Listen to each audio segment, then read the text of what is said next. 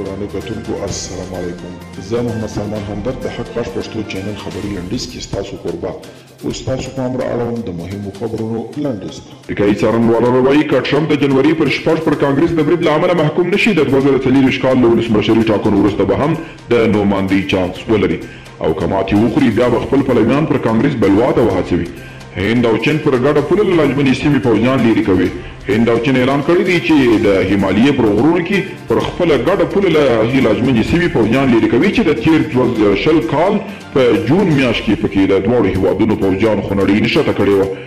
د داعش تروریستي ډلې د سوریې په شمال ختیځ کې په تېرو یوې میاشت کې د سلو نه ډېر بریدونه کړي دي. ځايي سرچینې وايي چې له تېرې یوې میاشتې راهیسې د داعش ډلې د سوریې شمال په تېره دېرازور سیمه کې بیا فعاله شوې او خپل فعالیتونه یې ډېر کړي دي او د افغانستان په ختیځو ولایتونو تاجکستان، پاکستان او هندوستان کې زلزله شوې ده. مرکزې تاجکستان ویل کېږي افغانستان کې یې کچه پنځه اعشاریه نوه خو په هند او پاکستان کې یې شپږ اعشاریه څلور د کابل ځینو سیمو کې محسوس شوې ده. هندي رسنیو هلته د زیانونو خبرداری هم ورکړی دی.